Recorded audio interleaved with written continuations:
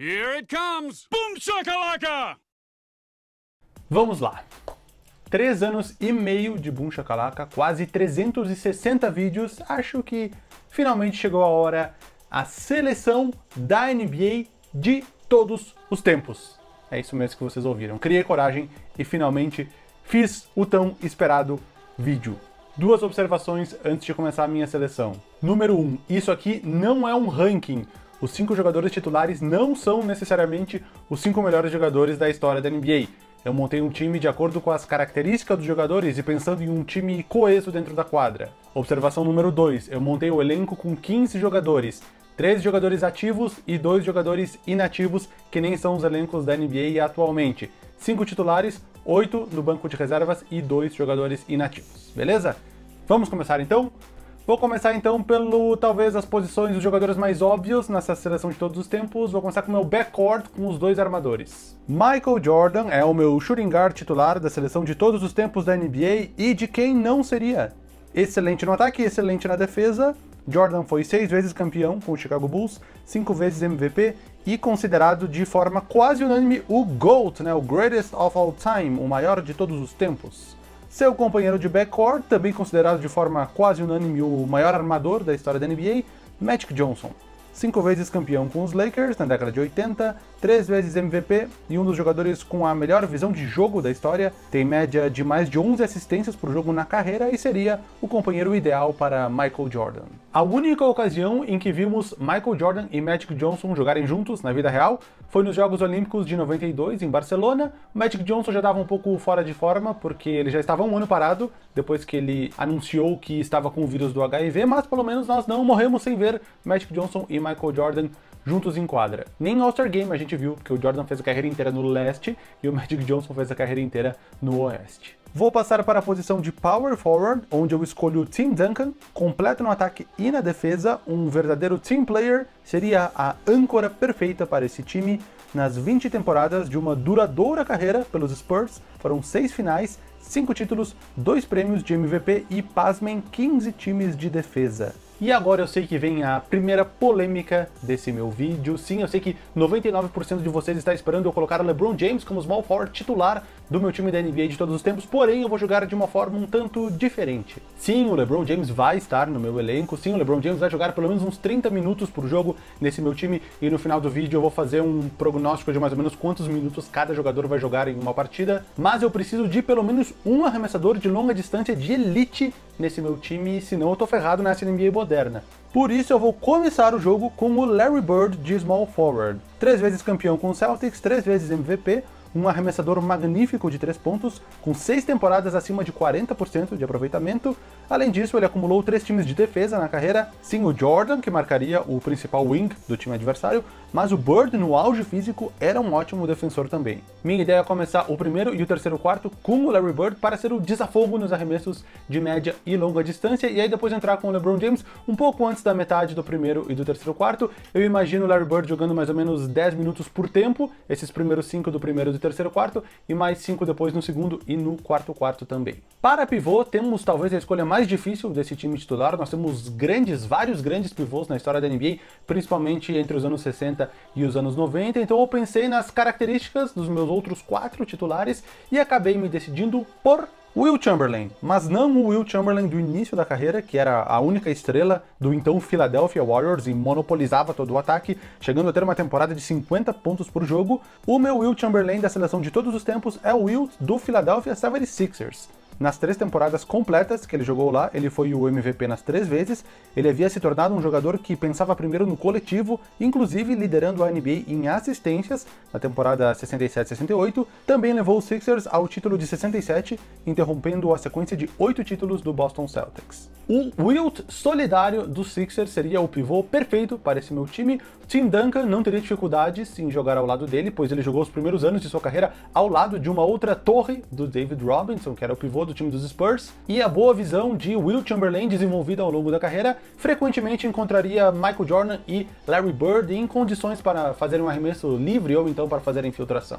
Bom, este é o time que vai começar os meus jogos, Magic Johnson e Michael Jordan de armadores, Larry Bird e Tim Duncan de alas e o Will Chamberlain dos Sixers de pivô. Vamos então para os oito jogadores que começariam o jogo no banco de reservas. Eu vou falar meio fora de ordem, de acordo com as necessidades do time. Como eu já falei, meu sexto homem de confiança é o LeBron James. É um jogador que joga em múltiplas posições, mas que eu usaria basicamente de small forward, mesmo sua posição de origem, mas que não descartaria entrar como power forward com o Duncan de pivô, por exemplo, ou mesmo de armador, na necessidade de um jogo mais físico, mais ou menos como ele joga hoje nos Lakers. Eu imagino o LeBron James jogando mais ou menos uns 30 minutos da partida, os últimos 7 minutos do primeiro e do terceiro quarto, e mais 8 no segundo e 8 no quarto quarto, sempre encerrando o jogo, tipo o Williams, um Lou Williams de todos os tempos. Bom, para continuar o meu banco, eu preciso de arremessadores de elite, bons arremessadores, excelentes arremessadores, daqueles que fazem parte do grupo dos 50, 40, 90. Primeiro, então, Stephen Curry seria uma opção para o lugar do Magic Johnson com características completamente diferentes. Ele tem uma visão de jogo boa, não tanto quanto o Magic Johnson, mas em compensação é um dos maiores arremessadores da história do jogo. Também joga bem sem a bola e no momento onde o LeBron ou o Jordan levam a bola para o campo de ataque, o Curry também seria um bom spot-up shooter, aquele que se posiciona, recebe e arremessa sem hesitar. O outro arremessador de elite para se juntar a Bird e Curry é o Dirk Nowitzki. Não poderia deixar de fora um jogador de 7 pés, 2 metros e 13, com tamanha eficiência nos arremessos. Ele seria uma opção para o Tim Duncan na posição de power forward, com a possibilidade de stretch, né, de abrir o garrafão o time perderia um pouco na defesa, mas a entrada do Nowitzki no jogo seria em momentos de necessidade diferente, talvez até como um stretch 5, dependendo do placar. Vocês viram que até agora os três jogadores do banco têm características bem diferentes dos seus titulares, então aí vai um pivô que também tem características um tanto diferentes do seu titular. Hakim Olajuwon sempre foi um defensor de elite e com o passar da carreira ele foi se tornando uma arma ofensiva cada vez mais letal, principalmente com o Dream Shake. Enquanto o Wilt jogava praticamente embaixo da cesta, o Hakim desenvolveu o mid-ranger, além de ter uma habilidade acima da média para um pivô, com crossovers e esse jogo de pés.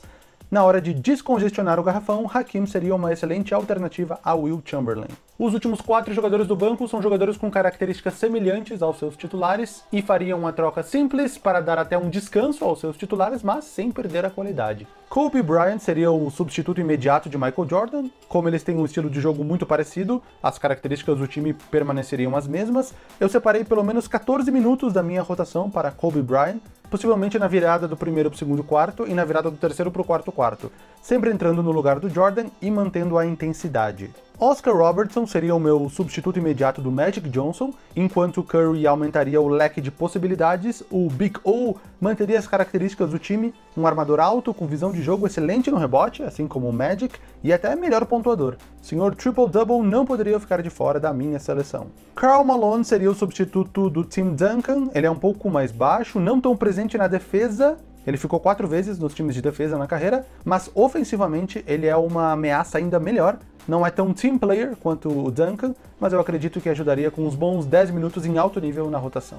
Por fim, para substituto imediato de Will Chamberlain, Shaquille O'Neal. Jogadores de características parecidas, dominantes dentro do garrafão, presentes na parte defensiva, Shaq fica um pouco atrás de Wilt, do Wilt dos Sixers, na visão de jogo e na distribuição de bola. Foi isso que fez eu decidir pelo Wilt de titular e o Shaq de reserva, e não o contrário. Se forem fazer hack, aquela falta de propósito para colocar os maus cobradores na linha de lances livres, põe o Olajuwon no jogo, de pivô, ou então coloca o Tim Duncan na 5 mesmo, pode ser também. Time finalizado. E aí, faltou gente? Óbvio que faltou. Eram apenas 13 jogadores ativos no meu elenco da seleção da NBA de todos os tempos, então agora eu vou para os dois jogadores que completariam o elenco, estariam a princípio inativos, mas que poderiam entrar no time a qualquer momento. Primeiro, Scottie Pippen. Excelente defensor, um dos melhores até hoje, estando no banco, poderia entrar para assumir o melhor wing adversário e dar uns minutos extra de descanso para o Jordan, LeBron, Larry Bird ou quem estivesse responsável por isso. Além disso, contribuiria ofensivamente também. E o 15 é o Kareem Abdul-Jabbar. Sim, para muitos, Abdul-Jabbar é o maior pivô de todos os tempos e eu não tenho como discordar de quem fala isso, é uma opinião extremamente válida, mas por características de jogo, com os outros pivôs que eu já coloquei no time, mais uma vez pensando na mecânica do time primeiro, eu sacrifiquei o lugar do Abdul-Jabbar no banco. Elenco pronto, 15 jogadores e agora de bônus eu vou falar os meus dois two-way players. O que, que são os two-way players? São aqueles dois jogadores que alternam entre a NBA e a G-League. Normalmente são o 16º e o 17º jogadores de um elenco de um time da NBA. Kevin Durant vai alternar entre a seleção de todos os tempos e a de league da seleção de todos os tempos, um scorer alto com uma boa eficiência que seria útil em vários momentos. Por fim, Bill Russell, pode-se argumentar que ele é que é o maior pivô de todos os tempos, e é uma opinião válida também, afinal ele é o maior campeão da história, porém por ter características muito mais defensivas, eu dei preferência a pivôs que além de serem bons defensores, criam mais possibilidades no ataque. Agora sim, acabou com os dois two-way players. Vou colocar na tela o time completo, o time pronto com o número de minutos que eu imagino cada jogador jogando em uma partida. Armadores titulares, Magic Johnson e Michael Jordan, alas Larry Bird e Tim Duncan, pivô Will Chamberlain. Reservas, Stephen Curry, Oscar Robertson e Kobe Bryant de armadores, LeBron James, Karl Malone e Dirk Nowitzki de alas, Shaquille O'Neal e Hakim Olajuwon de pivôs, completam o elenco Scottie Pippen e Kareem Abdul-Jabbar, e os two-way players Kevin Durant e Bill Russell. Enfim, acabou, deu trabalho, eu tive muitas dúvidas, inclusive dúvidas que eu não estou certo até este momento, mas tá aí o time. Eu não vou pedir para vocês deixarem críticas, sugestões nos comentários, porque eu sei de qualquer forma vocês vão fazer isso. Eu tava enrolando para fazer esse vídeo, tava enrolando mesmo, mas criei coragem e fiz, então fico aguardando vocês nos comentários. Um grande beijo e nos vemos em instantes.